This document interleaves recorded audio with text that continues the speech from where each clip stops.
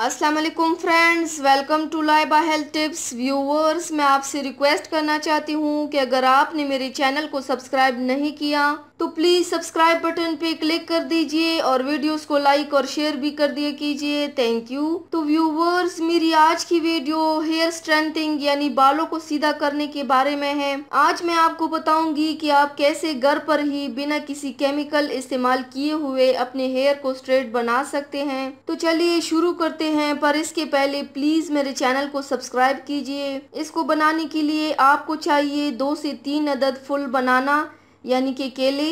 आप अपने हेयर के लेंथ के हिसाब से ज़्यादा या कम ले सकते हैं। सबसे पहले बनाना का छिलका उतार के मैश कर लीजिए। केले में विटामिन बी सिक्स फोलेट होते हैं। इसमें हाई शुगर कंटेंट होता है, जो हेयर की मॉइस्चराइजर को लॉक करके हेयर को सॉफ्ट बनाता है। अब इस मैश किए हुए बनाना में दो काने की चम्मच शहद। अगर आप तीन बनाना लोगे तो आपने इसमें तीन काने की चम्मच शहद डालना है। अब इसमें दो काने की चम्मच दही और दो काने की चम्मच ऑलिव ऑयल यानी जैतून का तेल शामिल कीजिए। अब इन्हें मिक्स करके एक पेस्ट जैसा बना लीजिए। आप इसे ब्लेंडर में डालकर दोबारा ब्लेंड भी कर सकती हैं। इससे पेस्ट ज़्यादा स्मूथ बनेगा। इस मास्क में जैतून का तेल है। जैतून का तेल हेयर क्यूटिकल्स को सील करता है। दही बालों को मॉइस्चराइजर करके स्मूथ बनाता है। अगर आप बालों को हेयर ग्लॉसी स्मूथ बनाना चाहते हैं तो इसमें एक अंडी की सफेदी भी ऐड कर सकते हैं। ये ऑप्शनल है। आप इस मास्क को अपने पूरे ड्राई हेयर पर अप्लाई कीजिए। इसे अप्लाई करने के टाइम हमेशा हेयर रूट से लिंक तक, यानी कि हेयर टॉप से डाउन वे में अप्लाई कीजिए, यानी कि ऊपर से